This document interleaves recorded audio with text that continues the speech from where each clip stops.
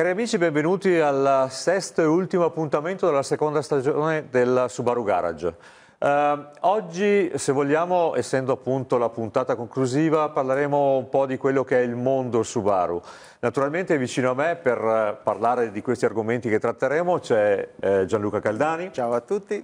Che naturalmente salutiamo e, e che naturalmente mi darà, eh, sarà anche un po' uh, la, la, mente storica di, di, di, quello che andremo a, a fare, anche perché a, a trattare, anche perché eh, soprattutto nel primo punto tu sei parte determinante, ma non anticipiamo. Uh, Subaru Family eh, l'abbiamo intitolato così eh, perché? perché? di fatto noi essendo un marchio uh, molto di nicchia i nostri clienti li reputiamo un siamo come una grande famiglia, una famiglia con la quale vogliamo condividere, con la quale vogliamo assolutamente eh, interfacciarci ed avere naturalmente le loro opinioni e un feedback da parte loro per quanto riguarda soprattutto le loro esperienze. Il primo, uh, il primo tema che tratteremo durante la puntata di oggi è sicuramente quella del Subaru for Fun. Subaru for Fun, dicevo prima Gianluca è sicuramente una parte molto importante del Subaru for Fun che nasce tre anni fa, giusto Gianluca? Sì. Nasce tre anni fa dopo che era rimasto diciamo silente per un po' di anni perché effettivamente Subaru for Fun nasce molti anni fa, dopodiché ha avuto un attimo di ripensamento e adesso finalmente siamo riusciti a rimettere in piedi questo, questo aggregatore, perché di fatto lo possiamo chiamare così, vero Gianluca? Sì, assolutamente sì, almeno si è dimostrato essere tale perché... Nasce tre anni fa con l'intento di condividere esperienze, condividere giornate, condividere percorsi, condividere la possibilità di provare le proprie vetture in situazioni che altrimenti non si sarebbero mai verificati. E quindi di conseguenza tre anni fa Uh, con Gianluca abbiamo pensato a come strutturare il Subaru for Fun e da lì uh, Gianluca c'è stata tutta una serie di eventi che abbiamo messo in piedi. Eh sì, credo, beh, di, di, eventi ormai in due anni, perché poi purtroppo il terzo ce lo siamo, e ce lo siamo un giocati. giocato, quello attuale. Però sì, è stata una bella esperienza, tra l'altro eh, credo sia piacevole sempre anche per noi comunque partecipare, eh, anche se in realtà è lavoro, però è, è un bel momento perché si vedono veramente persone contente, felici, entusiaste e un bel clima sempre tra tutti. Tra l'altro eh, ogni volta che organizziamo un evento del Subaru for Fun cerchiamo naturalmente di unire quello che è l'utile al dilettevole oppure anche il ludico, la parte ludica che c'è sempre, quella del divertimento ma la parte anche se vogliamo culturale. Perché si cerca di mixare nel migliore dei modi quelli che sono la visita magari di eh, paesaggi piuttosto che mh, mm, città d'arte o musei o dighe abbiamo, dighe, abbiamo visto anche le dighe perché siamo stati sul Vaillant appunto, sì. purtroppo il Vaillant ricorda cose non troppo piacevoli, però conoscere quello che è successo effettivamente in determinate situazioni è effettivamente molto importante e soprattutto anche nella sfortuna anche piacevole.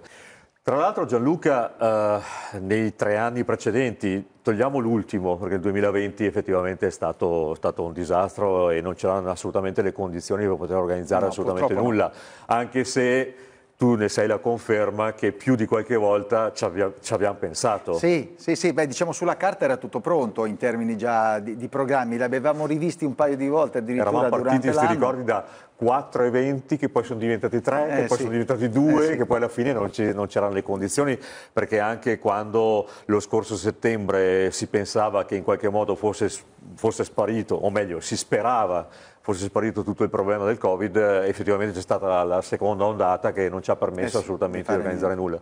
Però sicuramente l'anno prima siamo scesi fino in Sicilia, eh, tra l'altro con una partecipazione massiccia che ci siamo quasi stupiti, dovendo anche chiudere a un certo punto sì, le adesioni. Sì, sì, abbiamo chiuso perché eravamo andati oltre il limite massimo di, di partecipanti, esatto.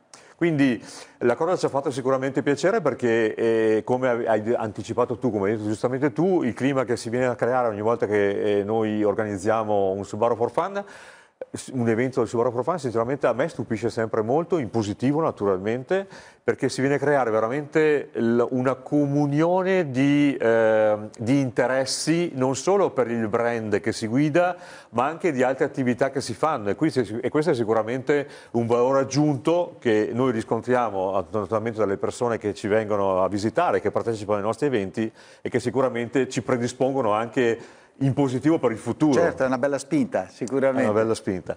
Eh, eh, esaurito il, secondo, il, primo argomento, parliamo del My Subaru. My Subaru è una di quelle piattaforme, è una piattaforma, eh, una piattaforma Subaru dove naturalmente noi eh, eh interagiamo con, con i nostri clienti. Eh, lo scopo principe di quando abbiamo pensato questo, il My Subaru è stato quello di eh, attraverso le informazioni che ci venivano date dai clienti, non dimentichiamo che il cliente naturalmente deve entrare nella piattaforma e deve inserire una serie di informazioni che noi richiediamo. Noi a sua volta diamo una serie di avvertimenti, di allarmi tipo scadenze di assicurazione, di bollo o quant'altro, ma soprattutto l'intento, perché è un sistema, è una piattaforma work in progress, eh, il nostro intento finale è quello di eh, cucire eh, e mh, produrre una piattaforma che sia tailor made, vale a dire ogni cliente potrà eh, ricevere informazioni riguardo, riguardo attività, promozioni o altre attività che vengono fatte appunto da Subaru Italia che sono più, eh, il più possibile vicine alle proprie necessità. Quindi un sistema, un prodotto che, va, eh, che, è stato studiato e va nell'ottica dell'aiuto, della propensione verso il cliente per facilitare molto quelle che sono le sue funzionalità eh, e le richieste appunto in base al proprio stile di vita, in base a una serie di altri parametri e che quindi va nella direzione dell'essere sempre più vicino a quello che è il cliente. Abbiamo tra trattato due argomenti, due argomenti importanti per eh, quel che riguarda appunto eh, il cliente Subaru, ma anche non solo Subaru. Eh, nella fattispecie entriamo a parlare del terzo argomento, che anche qui è rivolto sicuramente a clienti che sono subaristi, ma non solo a quelli, perché naturalmente Subaru Driving School, della quale appunto abbiamo qui, eh, ne parliamo con Gianluca, eh, si rivolgono un po' a tutti. Chi ha voglia di fare un corso può venire, certo. non è necessario che possegga una macchina no, Subaru. assolutamente. Subaru Driving School, Gianluca, l'abbiamo messa in piedi tre anni fa, quattro anni fa. Sì quattro anni fa, sì. perché adesso la memoria, sai, sono un po' anziano. E Subaru Driving School, da dove parte e, cosa, e qual era l'intento della Subaru Driving School?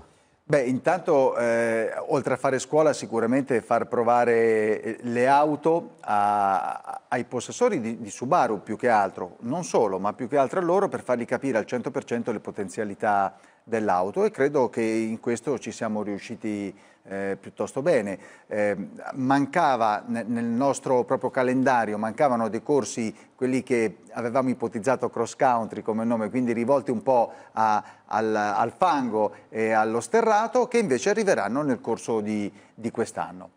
Oltre naturalmente anche, se non sbaglio, ha introdotto anche la parte dell'ibrido. Sì, sì, c'è anche questa parte qui che è una parte credo sia molto importante visto l'orientamento eh, di questo momento e, e, quello invece è un corso che è finalizzato non proprio alle tecniche di guida ma proprio finalizzato a una guida più efficiente. Devo dire che quando Subaru Italia ha pensato alla Subaru Driving School ha anche pensato di offrire ai concessionari un servizio importante che, fornire, che, possono fornire piloti professionisti come i ragazzi che sono all'interno della Subaru Driving School per dare un supporto maggiore naturalmente ai potenziali clienti che vanno nelle concessionarie e vanno a provare appunto le vetture. Eh, uno step successivo so che è quello che tu hai messo in piedi dei corsi di guida online. Ne vuoi parlare? Sì, Bene, e per quanto riguarda i corsi di guida online, come sai, eh, io sono molto per, per, i corsi, come si dice ora, in presenza, però... Eh, tradizionali. Eh, esatto, per quelli tradizionali, però eh, visto quello che è successo l'anno scorso abbiamo deciso di andare in, in questa direzione, quindi una tipologia di corsi, mi riferisco più che altro a, a quello di guida sicura, ma poi anche quello per l'ottimizzazione della guida dei modelli boxer, lo si può fare anche online attraverso una piattaforma, quindi ci, ci si iscrive a questa, eh, piattaforma, da lì si scaricano i contenuti in totale autonomia, quindi nel tempo che vuoi e, e, poi hai tutto quello che ti serve per poterti esercitare da solo e come opzione successiva addirittura puoi collegarti attraverso delle aule virtuali con la scuola e farti chiarire eh, dubbi eventuali proprio su, sulle tecniche di guida più che altro e, e in aggiunta, come, come, terzo pacchetto, come terza possibilità, c'è quella di venire a chiudere il cerchio sostanzialmente eh, con la tua auto in pista, quindi in occasione dei nostri corsi ci raggiungi con la tua auto e provi quello che non hai potuto provare nella guida normale su strada, quindi mi riferisco alle frenate d'emergenza, alle sbandate e, e magari a, a, anche a alla fine a raggiungere un po' l'emozione vera di una guida che, che il corso online e basta non ti dà un modo diverso di intendere i corsi. Sì, assolutamente sì, però credo che possa avere un, un buon seguito e, e probabilmente eh, vedo che stanno, i numeri stanno crescendo, quindi credo che sia un, una cosa sicuramente in più. Certo non devono essere sostitutivi, ma sono un'offerta in più. Certo. Con questo ultimo argomento riguardante appunto i corsi online abbiamo concluso, è l'argomento che chiude quelle che sono le sei puntate della seconda stagione del Subaru Garage. Vi vogliamo innanzitutto ringraziare, i numeri che abbiamo ricevuto dalla prima puntata ad oggi. Eh, sono stati veramente esaltanti perché eh, avevamo già sentore con la prima stagione e la seconda è stata creata in base ai risultati della prima stagione, ma anche le puntate precedenti che abbiamo, che, che sono state online, che sono, abbiamo mandato online effettivamente hanno dato risultati estremamente interessanti, quindi non possiamo far altro che naturalmente ringraziare tutti voi che ci avete visto durante queste puntate e sicuramente darvi appuntamento, chissà, magari a una terza stagione del Subaru Garage. Quindi a questo punto non mi resta altro che salutare, saluto te Gianluca, ti ringrazio Grazie di tutto, saluto tutti per anche essere io. stato con noi e a questo punto eh, non mi rimane nient'altro che dirvi alla prossima.